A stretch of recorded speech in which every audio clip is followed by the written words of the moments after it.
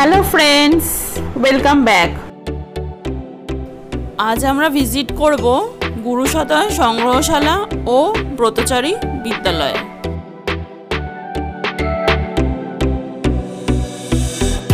Thakurpukur three এ বাসস্ট্যান্ডের কাছেই এবং জোকা পোস্ট অফিসের পাশে গুরুসদয় সংগ্রহশালাটি অবস্থিত।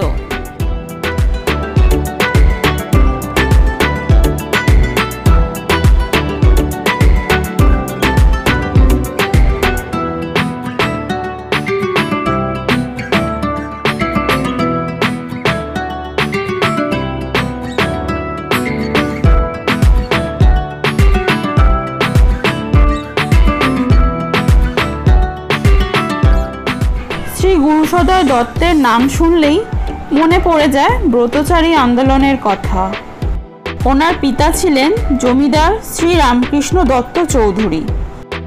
শ্রী গুরুসদয় দত্ত কৃষি ও শিল্প বিভাগের সচিব ও জেলাশাসক পদে নিযুক্ত ছিলেন বহু বছর। তাছাড়াও তিনি বাংলার লোক সংস্কৃতি নিয়ে গবেষণা করেছিলেন। উনিশশো উনিশ সাল থেকে উনিশশো পঁচানব্বই সাল পর্যন্ত রচনা করেছিলেন সাতাশটি গ্রন্থ। শ্রী গুরুসদয় দত্তের পুত্র শ্রী বীরেন্দ্র সদয় দত্তের উদ্যোগে এই সংগ্রহশালা স্থাপিত হয়। প্রায় তিন হাজারেরও বেশি প্রদর্শনী শিল্প সামগ্রী আছে এই সংগ্রহশালায়। তার মধ্যে পাঁচশোটি শিল্প সামগ্রী প্রদর্শন করা হয় জনগণের কাছে।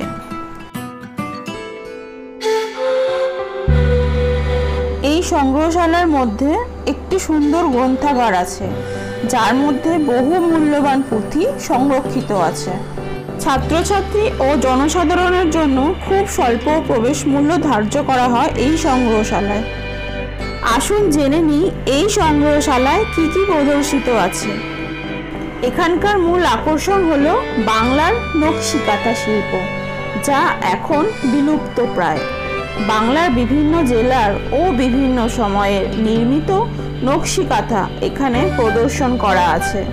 আমরা অনেকেই পড়েছি কবি জসিমুদ্দিনের লেখা নকশিকাঁথার মাঠ। কবিতাটিতে কবি রূপাই ও সাজু প্রেমের কাহিনী নকশিকথার মাধ্যমে বর্ণনা করেছিলেন। এই নকশিকাথাগুলো দেখলে আজও আমাদের মনের মধ্যে সাজু ও রূপাইয়ের প্রেমের কাহিনী ভেসে ওঠে। এই কাঁথাগুলির মধ্যে নানান কাহিনী চিত্র আকারে বর্ণনা করা আছে। এছাড়াও আছে ওনার নিজস্ব সংগ্রহ করা কিছু প্রত্নতাত্ত্বিক সামগ্রী।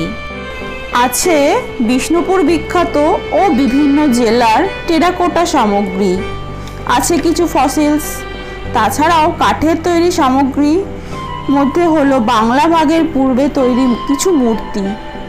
আছে আঠেরোশো থেকে বিংশ শতাব্দী প্রাচীন কিছু চিত্রকলা। এই চিত্রকলাগুলি চিত্রিত আছে কাগজ ও কাপড়ের মধ্যে। শিল্পীর নিখুঁত নিদর্শন আমাদের মুগ্ধ করে।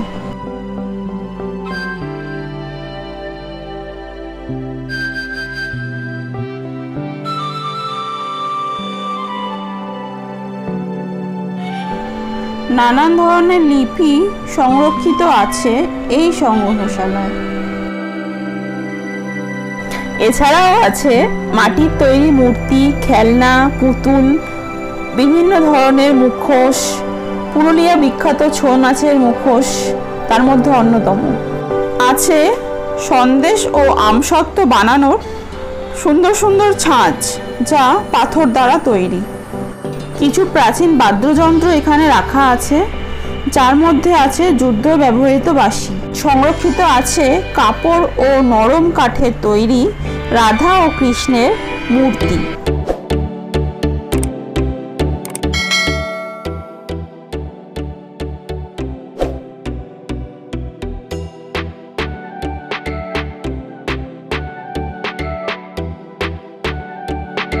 এই সংগ্রহশালার পেছনেই আছে বিশাল বড় একটি মাঠ, যা ব্রতচারী মাঠ নামে বিখ্যাত। এই মাঠেই প্রত্যেক বছর একটি নির্দিষ্ট সময়ে কয়েকদিন ব্যাপী ব্রতচারীর সমস্ত খেলাধুলা, ব্যায়াম, নাচ, গান, সাংস্কৃতিক আসর বসে। এবার আমরা যাচ্ছি ঠাকুরপুকুর ও জোকা অঞ্চলের ঐতিহ্যবাহী প্রাচীন বিদ্যালয় ব্রতচারী বৃদ্ধাশ্রম। স্কুলটি প্রাকৃতিক মনোরম পরিবেশের মধ্যে অবস্থিত। স্কুলে যাওয়ার রাস্তার দুপাশে পুকুর ও চারপাশ সবুজ গাছপালায় ঘেরা, যা ছাত্রছাত্রীদের পড়াশোনার পক্ষে অনুকূল।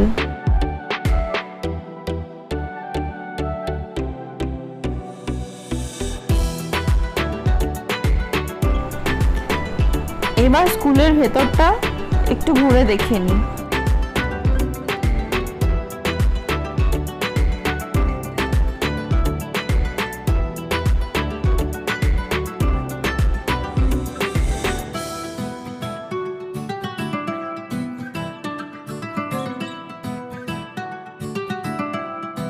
স্কুলের ভেতরে বিশাল একটি বাস্কেটবল খেলার মাঠ আছে।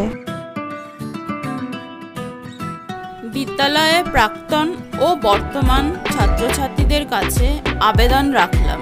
ভিডিওটি যদি ভালো লাগে, লাইক, শেয়ার ও কমেন্ট করবেন।